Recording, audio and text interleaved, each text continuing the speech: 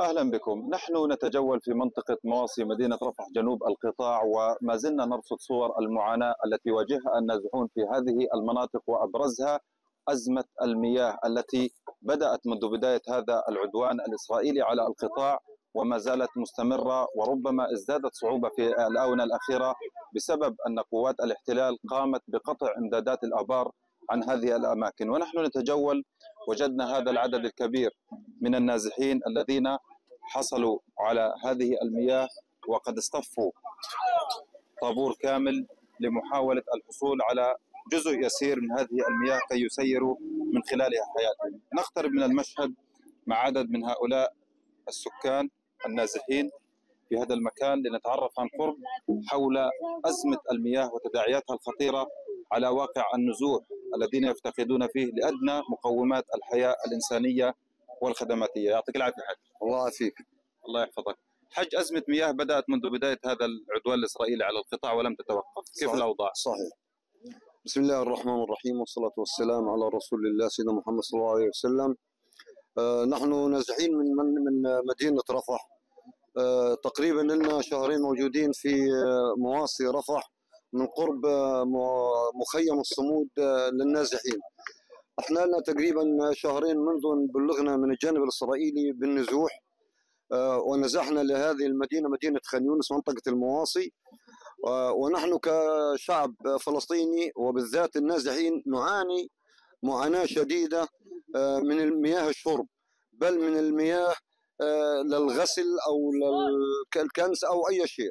ولا ولا ولا يوجد في هذا المخيم مياه يكفي حاجة آه، النازحين. آه، المياه الذي نحصل عليها حتى مياه لا تصلح آه، للشرب الآدمي. ولكن الظروف أجبرتنا ان ان نشرب من هذه المياه. نحن إحنا وأطفالنا. ولذلك إحنا نناشد يعني جميع الإخوة جميع المؤسسات جميع ال- الح- ال- الحقوقيين. إن ينظروا للنازحين نظرة عطف. آه، لا توجد لدينا مياه. نحن نعاني من المياه نعاني من الأكل نعاني من المسكن نعاني من الملبس نعاني من الفراش. آه، اطفالنا يناموا على تحل تحل يفرشون الأرض ويلتحفون بالسماء. كل هذا آه، نعاني منه إحنا النازحين في في معسكر آه، في منطقة المواصي في معسكر النزوح. لمعسكر الصمود في خان يونس. آه، حج أنتم كل قديش بتيجي المي على هذه الأماكن؟ آه، المي آه، بتجيش بصفة مستمرة يعني المي يعني بيفتحوا لنا إياها في اليوم ساعة أو ساعتين لعدد كبير جدا لا يكفي لا يكفي. يعني هي هي زي ما بتشوف يعني هي القلان موجودة والناس واقفين. آه، بعبيش فيش مي لأن الأبيار عندنا فيش أبيار. ما فيش حاجة اللي نقدر نعبي منها مي لكن الناس جزاهم الله خير. اللي يفتح لنا الحنفية آه، ساعة ساعتين. وهذه ما بتكفيش. والمي هذه اللي إحنا بنشرب منها لا تصلح للشرب. ولكن إحنا بنشرب منها إيش نعمل؟ ما فيش أي وسيلة نعمل فيها آه، أي وسيلة للشرب غير هذه الوسيلة.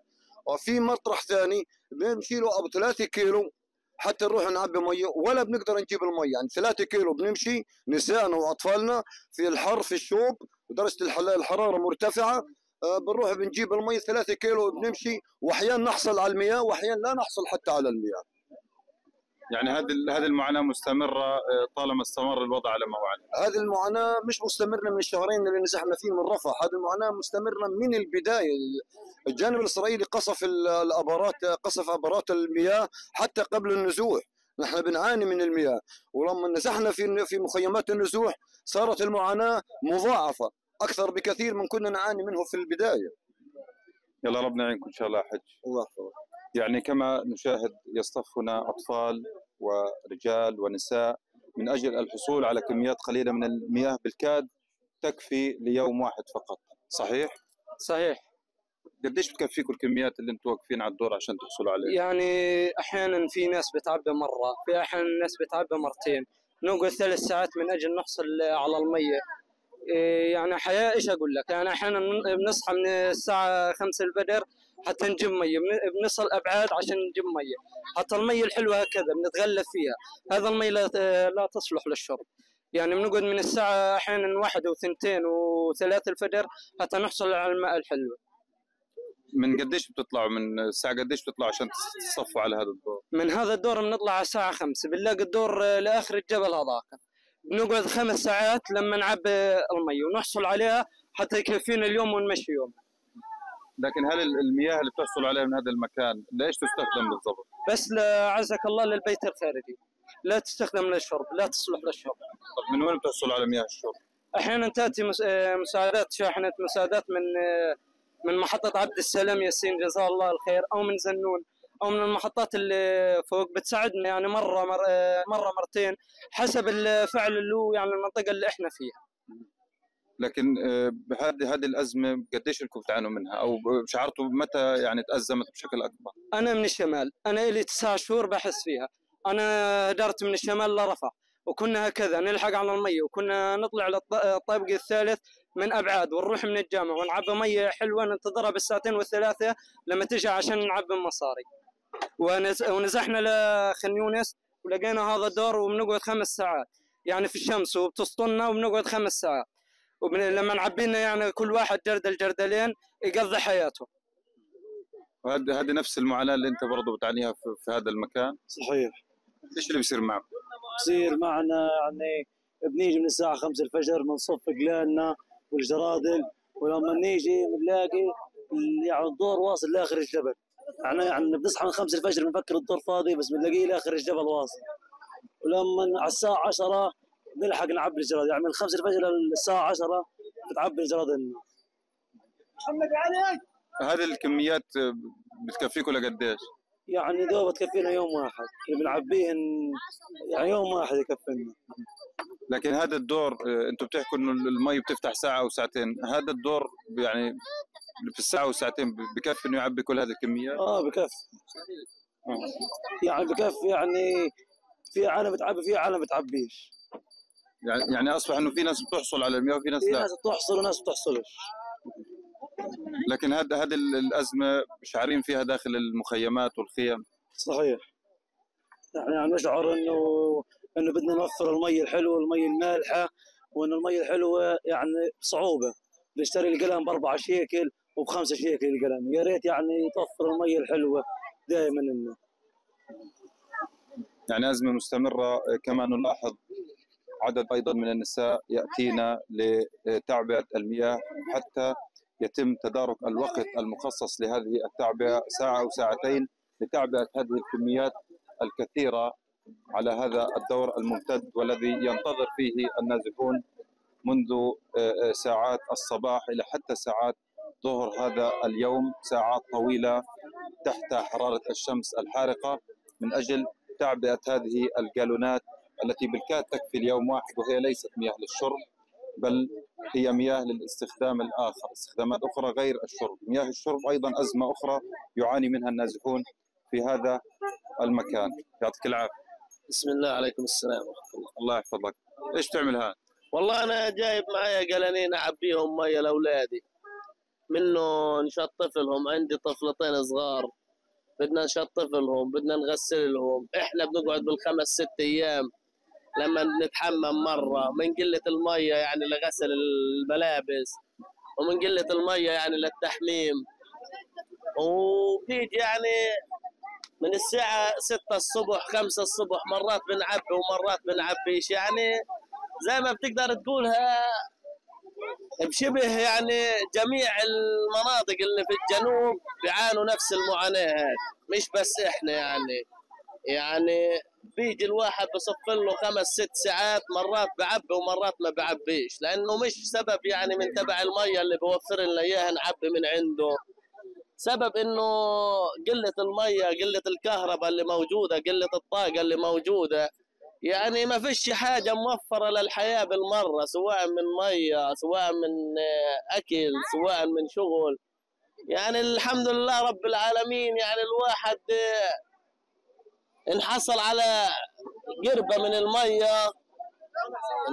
الواحد حصل على قربة من المية هيك صغيرة اللي يشطف لأطفاله لأنه الأطفال اليوم ما بيعرفوش يضلهم زينا بالخمس ست أيام أوعيهم هم هم. و... والتشطيف ومن ورا يعني الله يعزك البامبز والإشي زي هيك بيعرفوش زينا إحنا يعني ضلهم خمس ست أيام من غير مية وتحميم ونظافة. أما إحنا بنقدر نتحمل الكبار وبعيننا الله.